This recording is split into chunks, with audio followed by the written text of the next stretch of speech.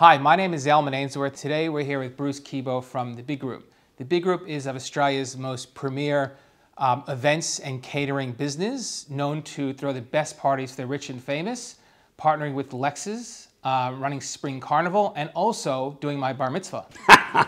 Bruce, when they announced the cancellation of the Grand Prix, which was the big news in Australia, the next big news was your announcement. Well, I think the Grand Prix might have been a bit bigger, Zelman, but um, yeah, we, we really felt that as soon as the, they pulled the pin on that, the Victorian government, um, on the advice of the health officers, uh, that the next stage really would be that the events industry really would be shut down.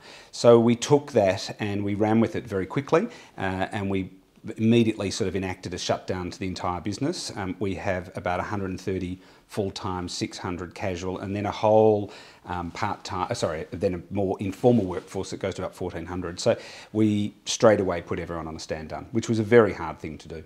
And you still think it's six months? till you'll start taking events again? I think, you know, when I look at the way Australia's handled it, um, and everyone has their own you know, views on the government and the of both federal and state. That said, uh, as a brand, Australia is looking incredible on the global stage. So I think they've handled it extremely well. I think the JobKeeper thing was a great initiative. Uh, so no, I think we'll probably come back a little bit earlier than what we thought. Uh, that said, um, at that mid-March moment when we, we pulled the pin, I think we were all of the feeling that you know business would come back to the way it may have been. And I don't think that that will be the case. I think as we look at the emotional impact on our customers uh, and the way corporates will act and react to this, I don't think we'll go back to the way it was. So the art now is to find the new. So big events are no more? No, I think in real life events will always go ahead. I think that, you know, if you look at history, people will always want to celebrate and, you know, cherish moments in both a private sense, but also to activate brands and be part of major events. But I don't think in this 2020 year that the new norm will actually be looking for large scale eventing. The big group's a tenant and you and your family are also a landlord. Um, what's your views on landlord-tenant relationship over the last few months and going into the recovery stage? I think it's very clear, and obviously there's a lot of Bruigus going around. but you know, from our point of view, we have multiple properties, both residential and commercial. Uh, but we had the ability to be able to stop, you know, mortgages where we needed to. So as soon as we had that ability to break, then we also have the ability to ease off the pressure for tenants as well. So I think that that's a very clear um, analogy.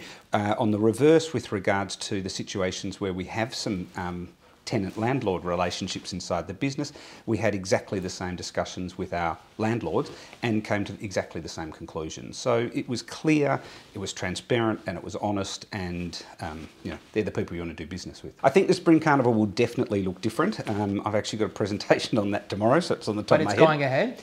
Oh, it will definitely go ahead. Um, and if we even rewind ahead of that, AFL will lead the way um, with regards to what um, major eventing will look like for the 2020 year.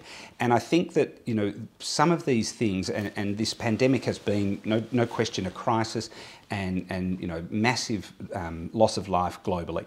But if we park that and just you know put that piece to the side just for a second, there's another element to this that is very important. It's really about the human nature of Australians, you know, and football is, from a mental health perspective, a massive part of, of how we operate and, and how we you know get ourselves going. So that cultural piece is massive. So we really need to make sure that the major events come back in whatever form they do, and we may not all be in the stadium together, but now that the restaurants and the bars and the clubs are starting to come together, we believe that there is a, a space to um, try to support those vendors who have had a pretty tough time, but also to try to stretch and extend sports throughout. So I think there'll be a modicum of on-site and off-site entertaining for this year.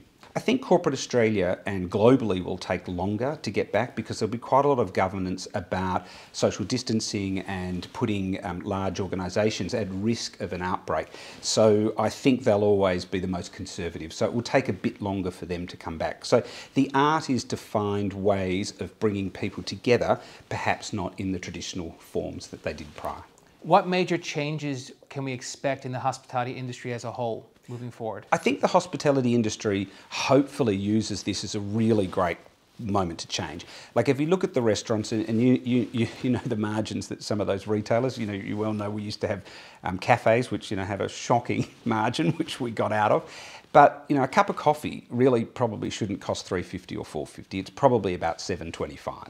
So if you factor in rents and you know the correct wages being paid, things like that need to change. So the consumer actually needs to change its approach and the vendor actually needs to bump up some of those prices. So I think the very good will survive and I think the sort of the average will definitely come out of it.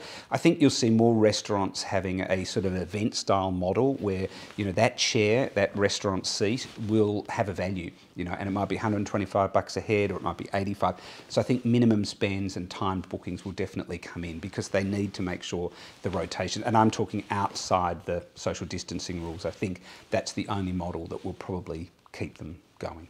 The Big Group is known for running the best events at the best venues. What are going to happen to these venues moving forward, like the Glass House and other venues that you're so famous for? I think that you know by the 2021 year, those venues will come back, and you know part of our, um, you know, the larger part of our business is sort of a unique portfolio of venues throughout the city, and private celebrations will keep on going. But the thing about the events industry that's probably the most unique about it is we're very much a destination-driven business. So where we plonk ourselves, be that CBD or South Melbourne, it brings so much traffic. So that that business flows out into so many other vendors. So we really need to get businesses like ours back up and running so that we've got that churn of um, business. The other part of the other major events part is you know AFL, Spring Racing Carnival, and tennis. The billions of dollars that that brings into the state of Victoria via those major events, hotels, retail, you know, hats, all those kind of things. So people sort of see sometimes as the events industry as a light industry, but the flow-on effects and the amount of people employed and um, working and spending in that is major. So we need to really get our feet back on the ground. But at the moment, we are a little bit the antichrist of the way COVID is because, you know, with the Ruby Princess and the start, it was a hospitality sort of extraction that was seeing the pandemic moving faster. So that's why I think we'll be the last to come back, um, but hopefully we'll be the best to recover. And what would your advice be to small business owners in the hospitality or the catering industry of how to kind of make the most of this recovery stage in Melbourne? Well, I think the most exciting start piece about the recovery is we're all now in startup phase. So I've pretty much said to our team, forget the way we used to operate. Um, you know, don't look back, look forward. And I think when you put a business into startup mode, all of a sudden the energy is entirely different. So we're thinking much sharper and faster. You know, we're looking at every element of cost. We're looking at every element of what's good revenue and what's bad revenue. You know, you reconsider your client base and have a look at where your good clients are and where your not so good clients are. So I think that that's a really exciting piece because it's very rare in business history that you get the opportunity just to sort of close down. And for us, it's 30 years of history. And then look at what does the next 10 years of you know future look like. So that's the bit that I'm kind of finding really exciting at the moment. So we'll build a much faster, leaner, sharper business than perhaps where the growth had got us. The big group has pivoted their business in the last couple of months into virtual gatherings. Look, I, I, firstly I love a Zoom, um, Zelman, because you know not to have to get in the car and drive and park and pay sixty-five dollars in the city for you know ten minutes. Um, you know, Zoom's been a really great initiative, I think. And you know, we had that tech for a very long time, and we didn't use it. Added, you know, you'd go to Sydney for a one-hour meeting and spend the whole day. You know, it's crazy. So I think the effective use of time is fantastic because it helps for everyone's work-life balance. That said, um, we then got on that next app, you know, House Party, did you see that? And so, you know, you'd have all your friends and there'd be six people on sort of chatting and I thought, oh, that's really fun too. But there was a gap for us. Um, and so the last 10 weeks, um, I've spent a lot of time trying to think about what the gap is. And it really, you know, if we look at a world where the stadiums are empty and we look at a world where people are still in their homes and we look at a world where travel, and especially global travel, won't happen for quite a while, there's still a human connection piece that needs to go back in there. And it's sort of not Zoom and it's not House Party. Um, but brands still have to be activated. People still want to dress and people still want to connect. So um, we've been working on a platform that we've um, just we've titled Event. So basically, what Event is is a world between esports and e-gaming and hyperrealism.